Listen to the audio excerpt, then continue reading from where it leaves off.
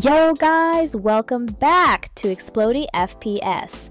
This is Syra, your tech buddy, and today we're diving into a common but frustrating Windows issue the security at a glance panel not working. Now listen, most of the time this glitch is caused by third-party tools, registry changes, or services being disabled.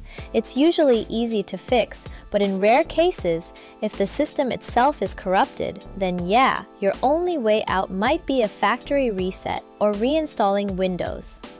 So let's begin with the easy stuff first. Alright, first of all, we're gonna fix a registry setting that often blocks the security panel. Click on the Windows icon, then type Registry Editor and open it. Inside the Registry Editor, navigate like this. Start from HKey Local Machine, then go to System. Now expand Current Control Set, then look for Services. This will show a huge list, so just press the S key to jump straight to Security Health Service. On the right-hand side, find the one named Start with Reg D word type. Double-click it, and change the value data to 3. What this does is re-enable the service to start manually, which helps if it was blocked by some external change. Once done, restart your system. If the issue was registry related, it should be fixed now.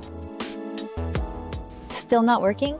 Then it's time to fix the actual Security Health Service file. Sometimes optimization scripts or aggressive antivirus tools delete or disable it completely.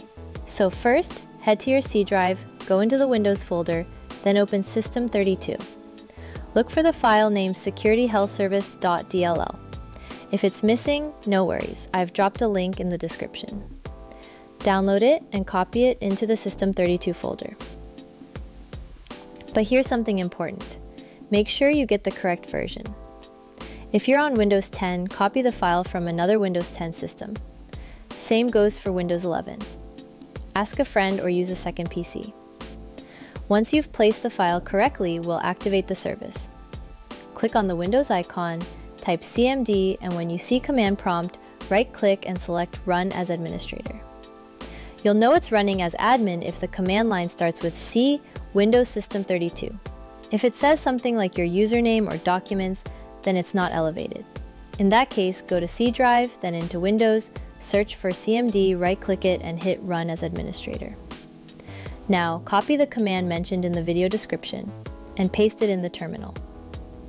In my case, it says, the specified service already exists. So yeah, mine's already good. But for you, this should activate the service and hopefully fix the issue. If it still doesn't work, try using the same file from a friend who's on the same Windows version. And if that too fails, well, at that point your best option is a fresh Windows install. And that's it guys! I really hope one of these methods helped you out.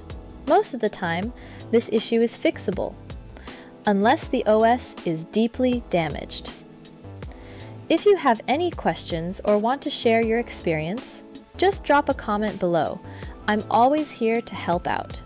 This is Syra signing off. Take care.